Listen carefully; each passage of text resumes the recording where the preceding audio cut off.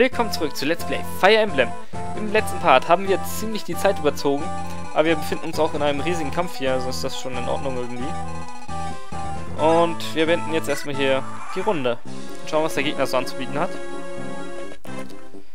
Ja, der greift natürlich hier Will an. Aber er trifft wieder nicht. Will, du bist gut im Ausweichen, definitiv. Schwein gehabt. So, der greift natürlich jetzt Zane an. Tut weh. So, der eine hat auch noch eine Lanze. Den Rest ignorieren sie. Kann ich reden? Ja, ich kann reden. Dann redet mal ihr beiden. Lindis! Hollywood, er hat's geschafft! Florina sagte uns, wo wir euch finden können. Wir sind gekommen, um euch zu helfen. Ich danke euch. Das war's. Uh. Ich hätte gedacht, ihr macht hier ein bisschen äh, mehr Freude. Friede, Freude, Eierkuchen. Welches Level bist du eigentlich? Level 3 nur? Ist was? Komm, hier. Greif an. Halt. hier. Greif an. Jetzt bist du denn sonst ein Pegasus-Reiter, wenn du nicht aus der Ferne angreifen kannst, ne?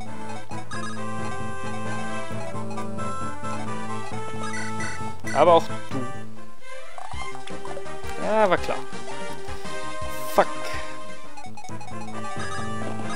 Okay, dann doch du lieber. Mit dem Langspeer. Du hast gerade keinen gescheiten Speer, ne? Aber wenigstens Level up hast du. Zur Stärke und Geschicklichkeit. Schön.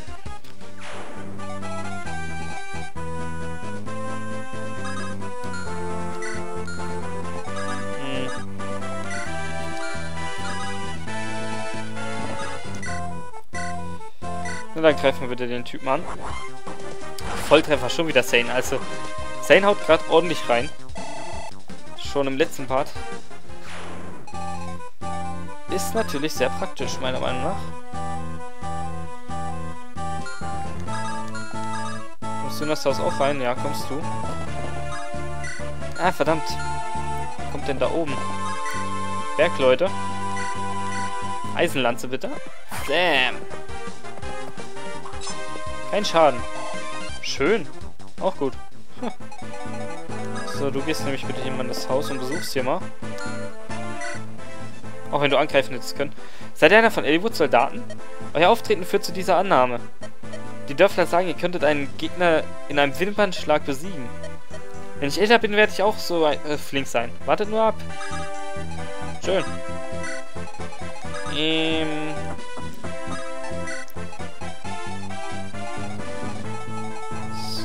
ist Sane.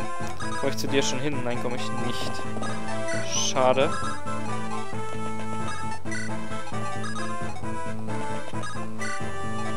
So, euch alle mit hinterherziehen. Und euch letzten Endes auch. So. So, jetzt müssen wir hoffen, dass Sane nicht allzu viel abkriegt da oben. Äh, greif doch mein Zelt nicht an, du Sack.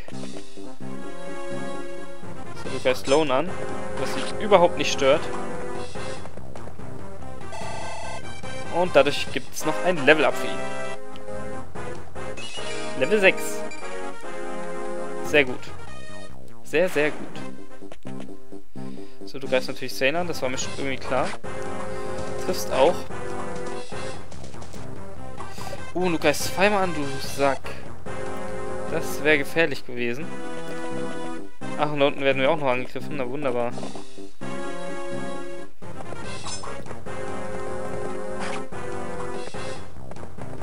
Ah, sehr schön. Sehr schön, zweimal anzugreifen, Low. So, der greift natürlich jetzt auch 10 an, ist aber im Nachteil. Trifft mich aber trotzdem. Okay, ich muss definitiv Zane jetzt irgendwie retten. Das kann nicht abgehen. Wenn Lone irgendwie eine mega Verteidigung hat, kann das sein? Also irgendwie ist das ja schon krass, was der gerade macht da oben. Oh fuck. Puh, damit habe ich ja jetzt gar nicht gerechnet.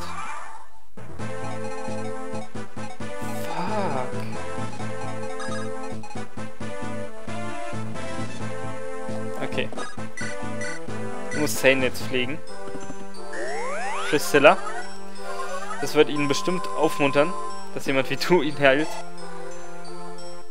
Gott, ey.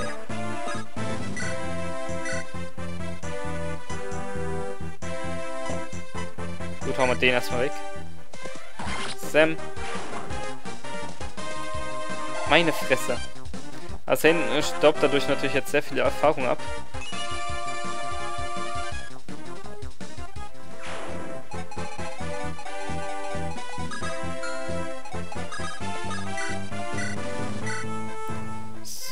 Du greifst wieder mal den Typen an. Und Kent hilft dir am besten dabei. So. Sehr gut.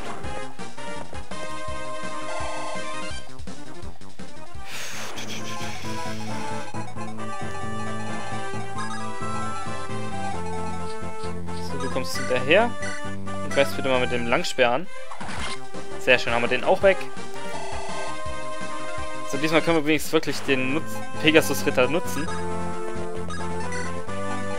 Was wir beim letzten Mal ziemlich gefällt hatten.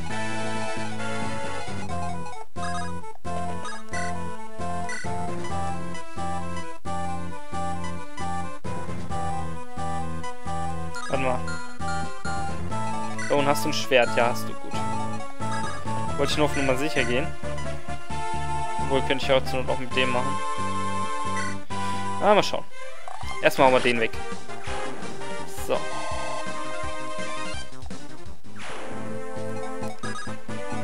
So, sie müssen wir dann aber schützen. Ich sehe schon, dass das gerade schwer ist. Gut, ich weiß aber, wie ich es mache. Indem ich nämlich jetzt mit dir den Typen angreife. Kein Schaden.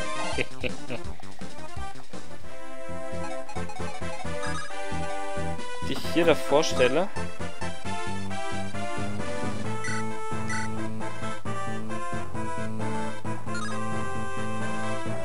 Den Typen angreife.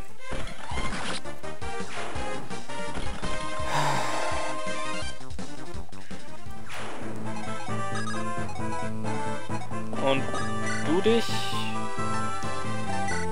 den Typen kümmerst.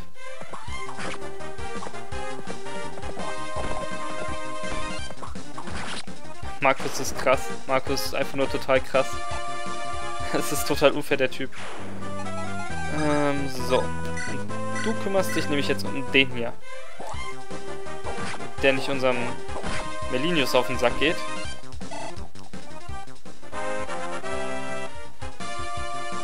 Und Hector steckt ein Level auf. Level 4 erst, ey. Er haut trotzdem schon so rein.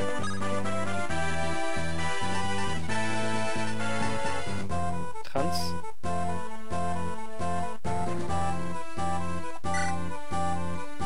Achso. Ich habe eine Idee. Kann ich mir Wurfbeil nehmen? Und dann kann ich noch angreifen, jawohl. ah, fuck. Die Idee war gut, nur die Arme waren zu kurz, oder wie war das?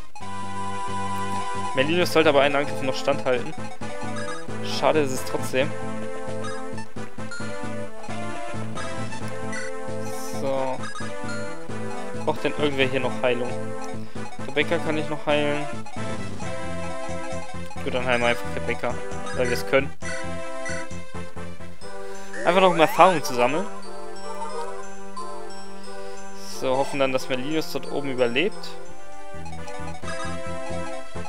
Und gehen noch hier hoch. Gegnerischer Zug. Ah, haut sogar ab, sehr schön. Ja, dass er natürlich feige ist und Rebecca angreift, ist jetzt nicht nett. Dass er jetzt feige ist und Priscilla angreift, ist auch nicht nett. Total mies, diese Typen.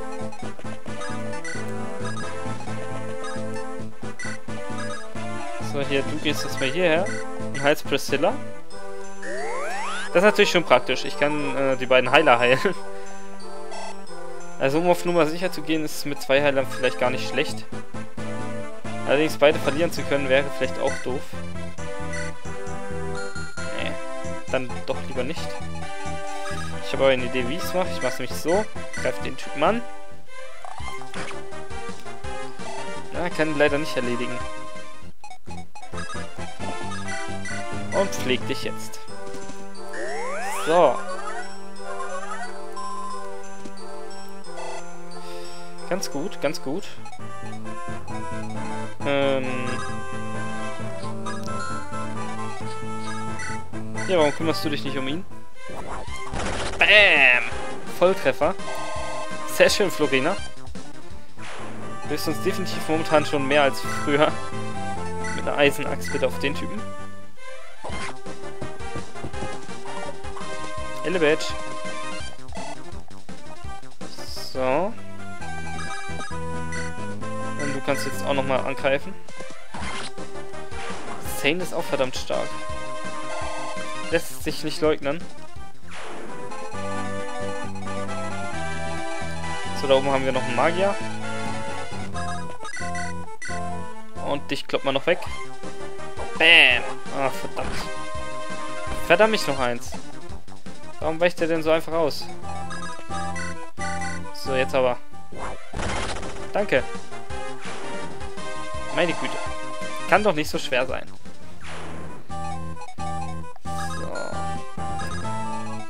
So. Lone dann bitte mal hierher.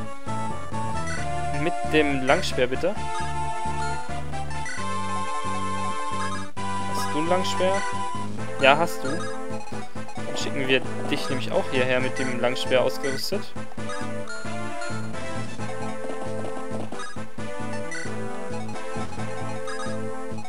Schon brauchen wir nämlich keine Angst vor dem Magier zu haben.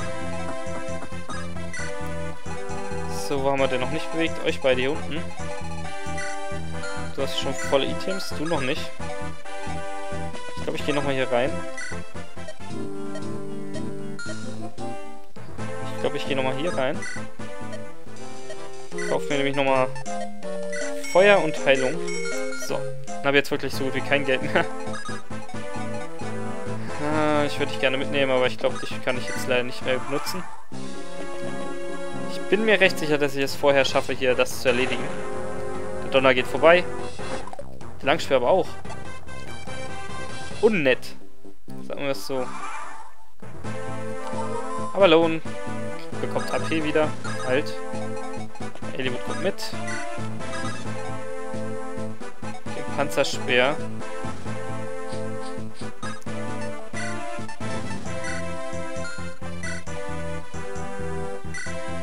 Wollen doch mal wieder dir geben.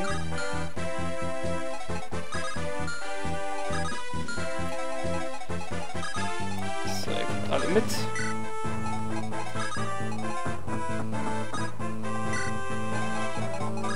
Dup, dup, dup.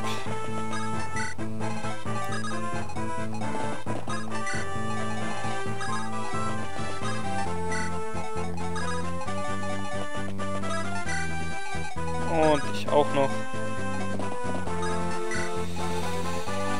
So, ich lasse mal einfach jetzt da, weil das bringt eh nicht mehr viel, euch damit zu ziehen. Und greifen jetzt hier mal... Na, mit der Eisenlanze einfach an. Sind ja nah genug dran. Oh, der Donner macht viel Schaden. Aber, K.O. Und Level Up. Lone ist auch sehr stark, obwohl er ein paar Level tiefer ist als Sane und äh, kennt. Macht er verdammt gute Arbeit. Ja, halt Donner. Sehr schön. Dann halten wir den Donner erstmal an Melinius.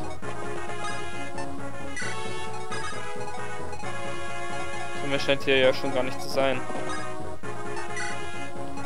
So, dem angucken. Er hat einen Langspeer. Er hat nur einen Langspeer. Level 18, wow. Ah, da oben kommen noch welche. Hallo. Was wollen denn die Herren hier?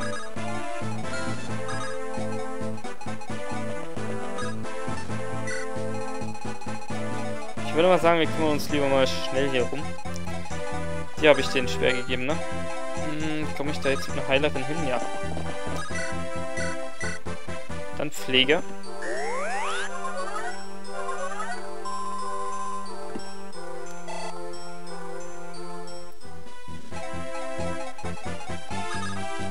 So, ich nehme aber lieber noch eine Heilerin mit. Und komme mal so langsam aber sicher mit den anderen allen hinterher. Und bringe mich einfach in Stellung.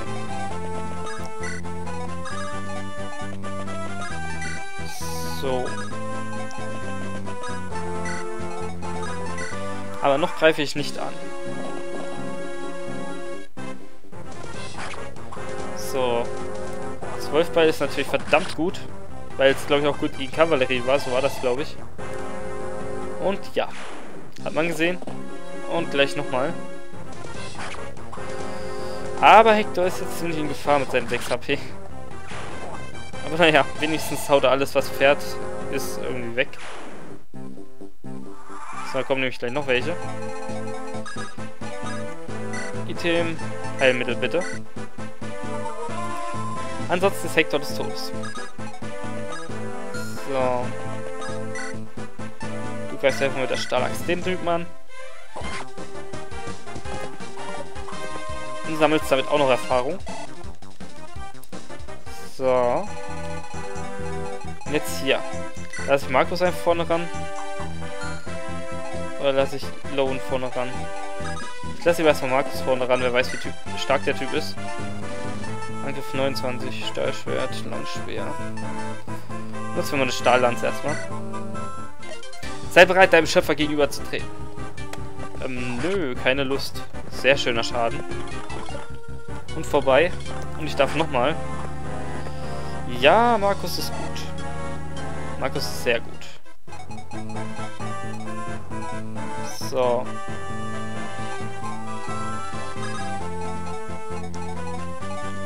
Lone dann bitte jetzt hierher.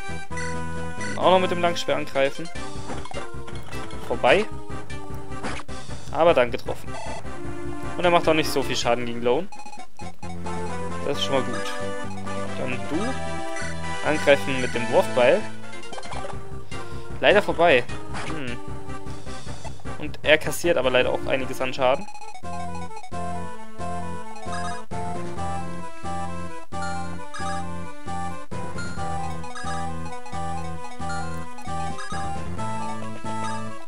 Ich greife mal mit Magie an. Ah, leider nicht so viel. Der tut weh, aber er schafft es sogar, ihn zu erledigen. Wow, schön. Wir wurden besiegt? Welch eine Schande. Schön, Hack. Dafür kriegst du jetzt ewig viel Erfahrung. Und steigst noch ein Level. Schön, schön. Sehr schön. Ernsthaft. Sehr gut. so, wir müssen das Tor noch einnehmen. Ich weiß nicht, ob ich mit Lindes oder mit Eliwood das machen soll.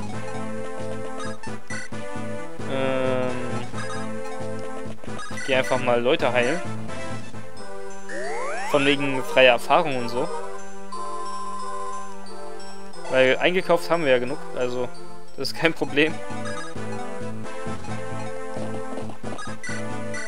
So, Pflege.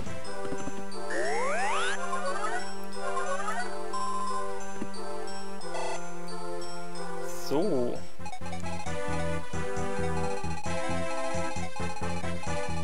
So, gegen die zwei da oben müssen wir uns halt noch verteidigen. Was aber kein Problem ist, weil, ja, Hector macht das einfach alleine. Und holt sich dafür noch ordentlich Erfahrung ab. Steigt noch ein Level. Er ist jetzt zwei Level gestiegen in diesem Part. Einfach nur, weil er da diese komischen scheiß Lanzentypen weggepfiff hat. Wow. Ordentliche Statusboosts. Ja, das stört ihn nicht mal mehr. Und obwohl der Gegner im Wald ist, hat einfach keine Chance gegen Hector. Schön, schön. Schön, schön, schön. So, Lündes. Kannst du nur besetzen? Nein, kannst du nicht. Eliwood, du musst besetzen. Habe ich noch einen, der Heilung braucht? Habe ich. Plupp.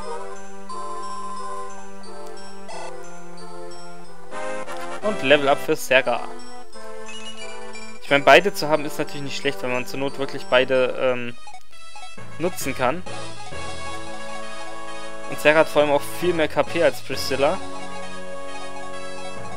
Aber Priscilla hat halt so einen Bewegungsradius, dass es fast praktischer ist, sie halt mitzunehmen. Dann wiederum allerdings... Äh, beide mitnehmen ist halt auch doof.